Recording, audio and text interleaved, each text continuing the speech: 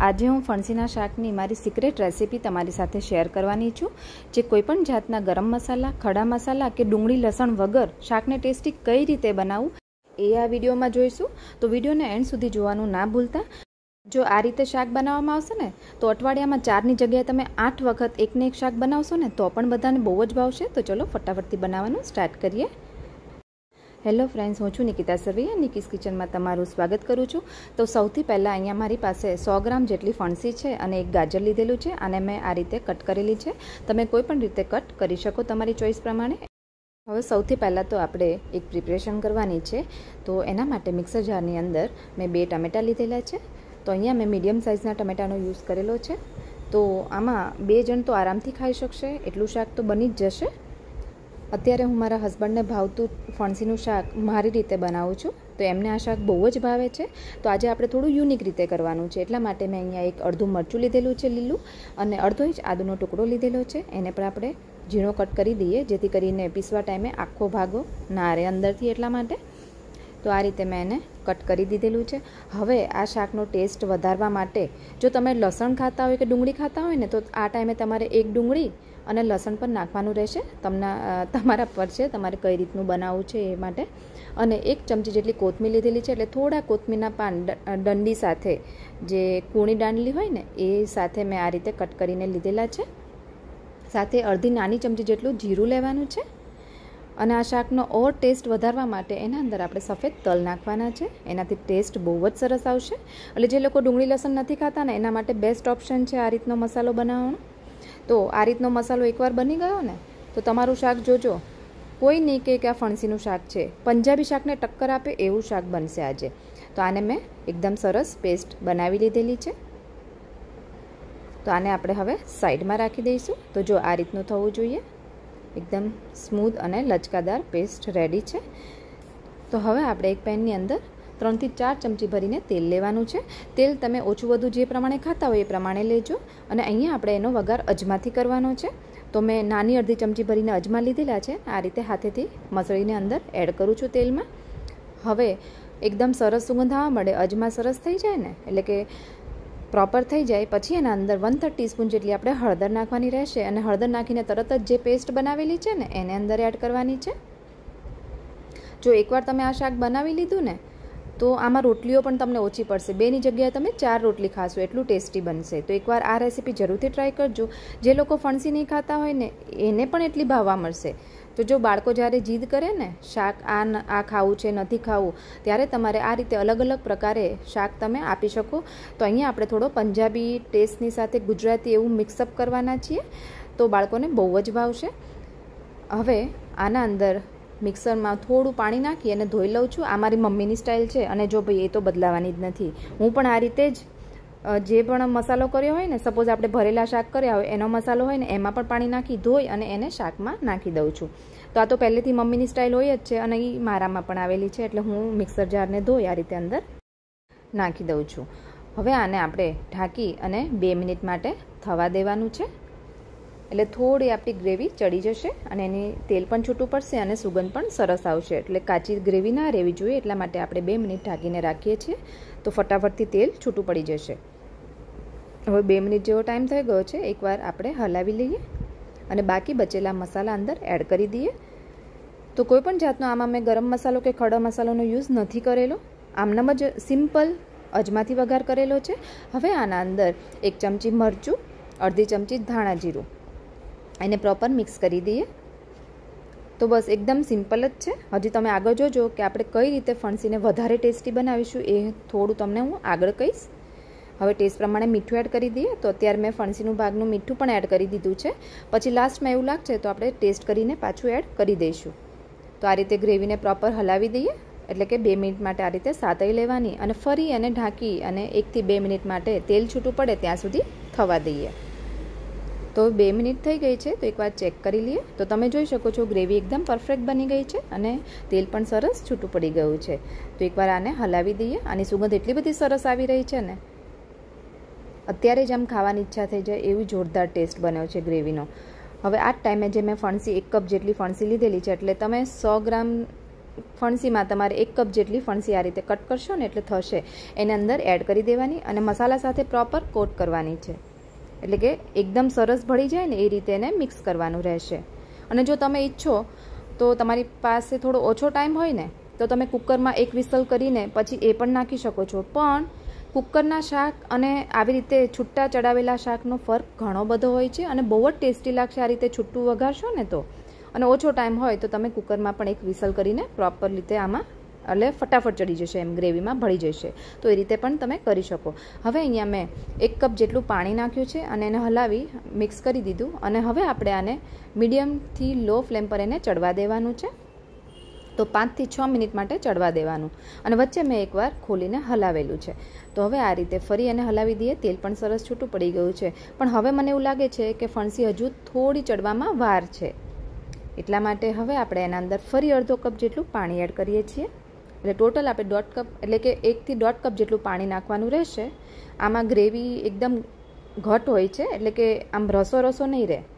એટલે આપણી ફણસી ચડે ને એટલા માટે આપણે પાણી નાખેલું છે. એટલે પાણી ઓછું વધુ તમે કરી શકો છો આમાં, એવું એવું નથી કે પરફેક્ટ માપ જોઈએ પાણીનું. ખાલી ચડવા માટે આપણે એડ કર્યું છે. હવે એના અંદર મેં એક ગાજર સુધારેલું હતું, તો એને મેં ધોઈને સરસ એડ કરી દીધેલું છે. અને હવે ગાજરને આપણે છે ને પહેલાં નાખી દઈએ ને ફણસી સાથે તો વધારે પડતું આમ ચડી જશે. એટલા માટે થોડું ક્રન્ચી ટેસ્ટ આવે ને એવું આપણે રાખીશું એટલે પાંચ મિનિટ થાય પછી જ ગાજર એડ કરજો, ફણસી ચડી જાય પછી. એટલે મતલબ કે ચડવા આવે પછી એડ કરવાનું. અને આ રીતે ઢાંકીને ફરી મેં બેથી ત્રણ મિનિટ માટે થવા દીધું છે. તો તમે જોઈ શકો છો. શાકની ગ્રેવી એકદમ સરસ મિક્સ થઈ ગઈ છે. બધા શાકને કોટ કરી દીધેલું છે. તો હવે એકવાર આપણે ચેક કરી લઈએ કે ફણસી પ્રોપર ચડી ગઈ છે કે નહીં. તો તમે જોઈ શકો છો, એકદમ સરસ ઇઝીલી કટ થઈ જાય છે એનો મતલબ કે. અને ખાવામાં ખાવામાં પણ થોડું આમ ક્રન્ચીનેસ જેવું લાગે છે, તો મજા આવશે એમ. એટલે સપોઝ આપણે સિઝલરને એવું ખાતા હોય ને, એવું થોડું હોય ને, એનાથી થોડું વધારે આપણે ચડાવવાનું, બાકી એનો ટેસ્ટ એવો તમને આવશે. હવે આપણે થોડો ગુજરાતી સાથે સાથે પંજાબી ટેસ્ટ પણ આપવાનો છે, તો એના માટે એક ચમચી જેટલી મેં મલાઈ નાખેલી છે આ રીતે ફેંટીને. મલાઈ એટલા માટે નાખજો, કારણ કે તમારે ટમેટા સાથે બેલેન્સ કરવાનું છે. આમાં આપણે ખાંડનો યુઝ નથી કરતા. એટલા માટે આપણે મલાઈ એડ કરી છે. જેથી કરીને ટમેટાનો ટેસ્ટ એકદમ બેલેન્સ થઈ જશે શાકમાં અને તમને પંજાબી લુક પણ આવશે અને ટેસ્ટ પણ આવશે સાથે સાથે. હવે લાસ્ટમાં આપણે ધાબા સ્ટાઇલ શાક બનાવ્યું છે. એટલા માટે એક ચમચી જેટલી કસૂરી મેથી લીધેલી છે ફ્રેશ અને એને આ રીતે સરસ મસળીને અંદર એડ કરી દઈએ. આમ સુગંધ પણ એટલી જોરદાર આવે છે ને અને જો કોઈ પણ ગેસ્ટ આપણા ઘરે આવ્યું હોય અથવા તો બાળકોને તમારે આપવું હોય ટિફિનમાં, તો તમે આવી સબ્જી બનાવીને આપશો ને, તો બધાને બહુ જ ભાવશે. કોઈ નહીં કે તમે આ ઘરે બનાવી છે. બધા તમને પૂછશે કે તમે કઈ રેસ્ટોરન્ટમાંથી સબ્જી લાવ્યા છો? એટલી ટેસ્ટી બનશે. તો હવે તમે જોઈ શકો છો આપણું શાક તો રેડી થઈ ગયું છે. તમે ઈચ્છો તો થોડી ખાંડ નાખી શકો, પણ ખાંડ વગર પણ એટલું ટેસ્ટી લાગશે ને આ શાક. એટલે ગુજરાતી પ્લસ પંજાબી બે શાકનો ટેસ્ટ તમને એક શાકમાં આવી જશે. તમને આ રેસીપી ગમી હોય તો મને એક નાનો એવો સપોર્ટ કરી દેજો સબસ્ક્રાઈબ કરીને અને એક કમેન્ટ કરીને પણ કહેજો કે તમને મારો આજનો આ વીડિયો કેવો લાગ્યો અને આ રીતે ફણસીનું શાક બનશે ને તો બધા આંગળા ચાટતા રહી જશે. તો આ રેસીપી જરૂરથી ટ્રાય કરજો. આ મારું પર્સનલ સજેશન છે કે એકવાર તમે આ ફણસીનું શાક ખાધું ને, તો તમે ખાતા જ રહી જશો. એટલું ટેસ્ટી લાગશે. મને કમેન્ટ કરીને એ પણ કહેજો કે તમે ક્યાંથી મને જોઈ રહ્યા છો. તો મને પણ ખબર પડે કે મારા વ્યૂઅર્સ મને ક્યાં ક્યાંથી જોઈ રહ્યા છે. મારા વીડિયો જો તમારા જીવનમાં થોડા પણ ઉપયોગી થતા હોય ને, તો મારી ચેનલને સબસ્ક્રાઈબ કરવાનું ના ભૂલતા. તો સબસ્ક્રાઈબ બટનનું એક ક્લિક મારા સપોર્ટ માટે તમે જો કરતા હોય, તો એ મારા જીવનમાં મને બહુ જ માન્ય રાખે છે. ચલો, બીજા પ્રકારનું નવું શાક જોઈ લઈએ. ઉનાળો શરૂ થાય ને, એટલે બહુ પ્રશ્નો હોય છે શાકના. અને એટલા બધા ઓછા ઓપ્શન હોય કે તમે એકને એક શાક ખાઈને બહુ કંટાળતા હોવ છો. તો આજે આપણે નિકીસ કિચનમાં પંજાબી શાકને ભૂલાવી દે એવું આપણું દેશી ટિંડોરાનું શાક બનાવવાના છે, એ પણ નવા ટ્વિસ્ટ સાથે. તો ફટાફટથી બનાવવાનું સ્ટાર્ટ કરીએ. અને હા, જો મારી રેસીપી તમને ગમતી હોય, તો મારી ચેનલને સબસ્ક્રાઈબ કરી બાજુમાં રહેલું બે લાઇકન દબાવજો અને એમાં ઓલનું બટન ક્લિક કરજો, જેથી કરીને મારા વિડીયોની નોટિફિકેશન તમારા સુધી પહેલાં આવી જાય. તો અહીંયા સૌથી પહેલાં મેં ઢોકળિયું લીધેલું છે, એમાં પાણી નાખી અને ગરમ થવા મૂકવાનું છે. તો અત્યારે હું ધીરા ગેસ પર એને ગરમ થવા દઉં છું અને આ રીતે એક સ્ટેન્ડ છે મારી પાસે. તો એ સ્ટેન્ડ મૂકી ઉપર, એટલે તમે કોઈ પણ સ્ટેન્ડ મૂકી શકો. એમાં ઢોકળાની જે ડીશ હોય અથવા તો કોઈ પણ કાણાવાળી ડીશ તમે મૂકી શકો છો. અને એને ઢાંકી આપણે થોડુંક ગરમ થવા દેવાનું છે. હવે ત્યાં સુધી આપણે આપણા ટિંડોરા અહીંયા મેં અઢીસો ગ્રામ જેટલા લીધેલા છે. તો ટિંડોરા આ રીતે ગ્રીન હોય અને પતલા ને લાંબા હોય ને એવા ચૂઝ કરવાના. તો એ સરસ હોય છે, અંદર બી વગરના હોય છે, એટલે કે સાવ આમ સોફ્ટ બી આવે ને એવા હોય છે, એટલે એ વધારે ટેસ્ટી લાગશે. અને ઉપર નીચેથી એને આ રીતે કટ મૂકી વચ્ચેથી કટ કરવાનું. આપણે થોડું એને અલગ કટિંગ કરીએ છીએ અત્યારે. તો થોડું હું સ્પેશિયલ કટ કરું છું, એટલે આ રીતે નાના નાના પીસ કરું છું એને. અને આ ટિંડોરાને મેં પહેલેથી એકદમ સરસ થોડી વાર માટે પલાળીને રાખ્યા હતા, પછી એને ધોઈ લીધેલા છે અને લૂછીને રાખી દીધેલા છે. તો આ રીતે હવે હું હાથેથી કટ કરીને દેખાડું. તો આપણે શું છે? હાથેથી ફટાફટ, મારે તો એવું જ છે કે સ્પીડમાં કટ થાય છે. અને આપણે લેડીઝને કેવું હોય કે આમ બહુ ઉતાવળ હોય સવાર સવારમાં ટિફિન બનાવવાનું ને એવું હોય. એટલે ફટાફટ આપણે ચોપરથી થાય કે ના થાય, હાથેથી તો ફટાફટ કટ એક સરખું થઈ જ જાય છે. તો જો મેં એક સરખું કટ આ રીતે કરી દીધું છે. ચોપરથી થોડી મારે વાર લાગે છે, એટલે બધાની ચોઈસ પ્રમાણે તમારે કટ કરવાનું રહેશે. તમને જે રીતે જોતું હોય. હવે ઢોકળીઓ આપણે ગરમ થવા મૂક્યું હતું ને, તો એના અંદર આ રીતે હું પાથરી દઈશ. એટલે કે બધું જે આપણે ટિંડોરા કટ કરેલા છે ને, એને પાથરીને અંદર મૂકી દઈશ એક સરખી રીતે. જેથી કરીને ઇઝીલી બધા એક સરખા ચડી જાય એટલા માટે. આને ચડતા બહુ વાર નહીં લાગે. જ્યાં સુધી આપણે ગ્રેવીની પ્રિપરેશન કરશું ને અને ગ્રેવી બનાવશું, ત્યાં સુધીમાં ચડી જશે. તો એને ઢાંકીને આપણે રાખી દેવાનું છે. તો પાંચથી સાત મિનિટ જેવો ટાઈમ થશે. હવે ત્યાં સુધી આપણે ગ્રેવીનું રેડી કરી દઈએ. તો મિક્સર જારમાં અહીંયા મેં બે ટમેટા લીધેલા છે. ટમેટાની સાઇઝ થોડી મેં મોટી લીધેલી છે. તો એને આ રીતે આપણે ક્રશ કરવાના રહેશે, એટલે કે એની પ્યોરી બનાવવાની રહેશે. તો આ રીતે એકદમ પ્રોપર ક્રશ કરીને આપણે સાઈડમાં રાખી દેવાનું. હવે આપણે એક પેનમાં તેલ મૂકવાનું છે. તો અહીંયા હું ચાર ચમચી જેટલું તેલ લઈ રહી છું. એટલે તેલ તમારે ઓછું વધુ જે રીતે નાખવું એ પ્રમાણે તમારે નાખી શકો છો. અને સાથે એક તમાલપત્ર નાખી રહી છું અને ત્રણ લવિંગ, બે તજના ટુકડા અને જો તમે લસણ ડુંગળી ખાતા હોય તો તમારે આ ટાઈમે લસણની પેસ્ટ અને એક નાની ડુંગળી સુધારેલી નાખવાની રહેશે.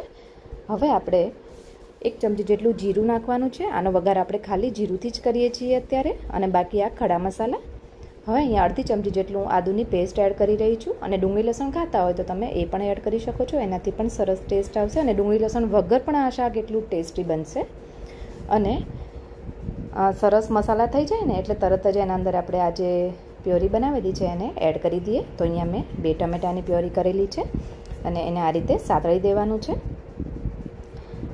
તો આને બે મિનિટ માટે આ રીતે ખુલ્લું રાખવાનું છે. હવે આપણે એના અંદર મસાલા કરી દઈએ. તો અહીંયા મેં એક ચમચી જેટલું લાલ મરચું, એક ચમચી ધાણા જીરું ને વન થર્ડ ટીસ્પૂન જેટલી આપણે હળદર એડ કરવાની છે.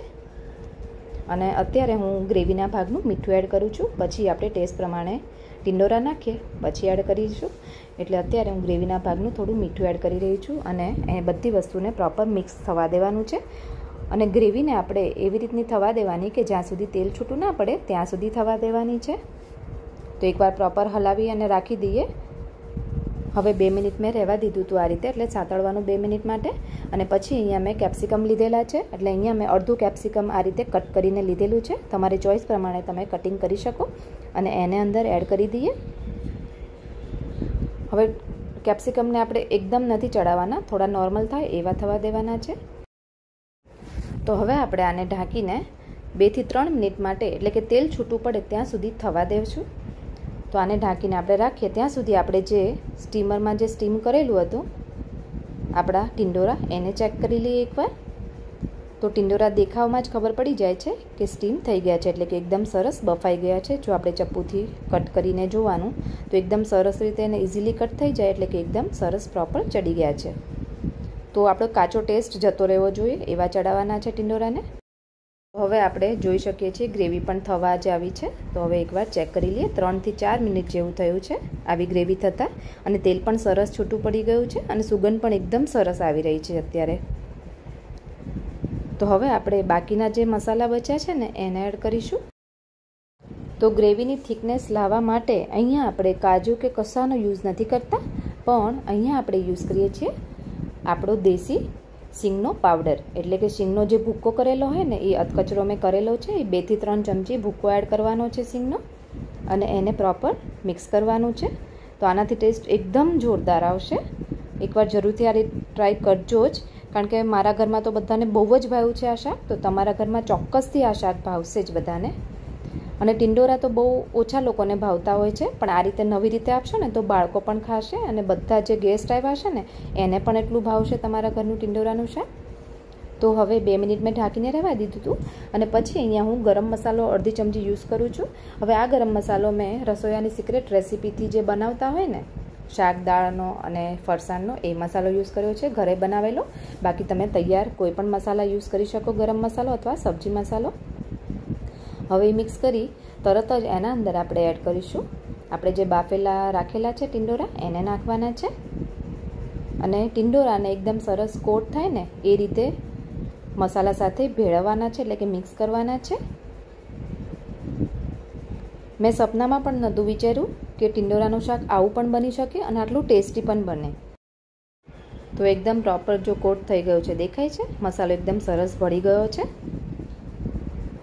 તો હવે આના અંદર આપણે પાણી એડ કરવાનું છે. થોડી ગ્રેવી જેવું કરવાનું છે. એટલા માટે તો અહીંયા હું અડધો કપ જેટલું પાણી યુઝ કરી રહી છું. ગ્રેવી તમારે જેટલી ઓછી વધુ રાખવી હોય એ પ્રમાણે તમારે પાણી એડ કરવાનું રહેશે. તો અહીંયા અડધો કપ પાણી આપણે એડ કર્યું છે અને એને એકદમ ઉકળવા દેવાનું છે. તો એને ઢાંકીને બેથી ત્રણ મિનિટ માટે મસાલો અને ટિંડોરા બે મિક્સ થવા દઈએ આપણે. અને તેલ છૂટું પડે ત્યાં સુધી રાખીએ. તો તમે જોઈ શકો છો તેલ એકદમ પરફેક્ટ છૂટું પડી ગયું છે. એટલે કે આપણું શાક રેડી થઈ ગયું છે.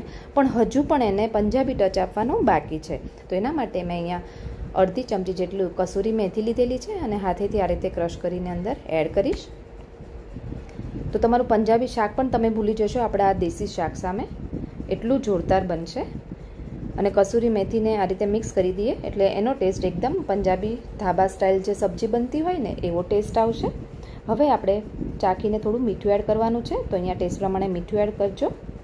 અને પછી પ્રોપર એને મિક્સ કરી દઈએ મીઠાને.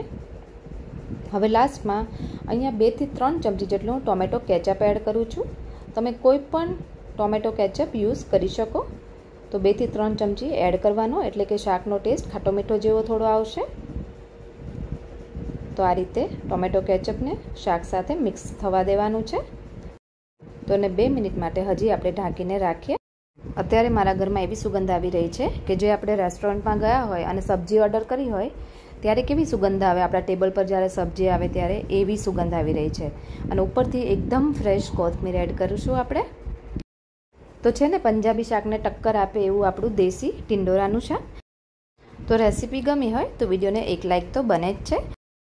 અને મને કમેન્ટ કરીને જરૂરથી કહેજો કે આજનું આપણું આ ટિંડોરાનું દેશી શાક નવા ટ્વિસ્ટ સાથે તમને કેવું લાગ્યું? અને સાથે એ પણ કહેજો કે તમને પંજાબી શાક ફાવે છે કે આપણું આ દેશી શાક? ફરી મળીએ એક નવી રેસીપી સાથે. Thank you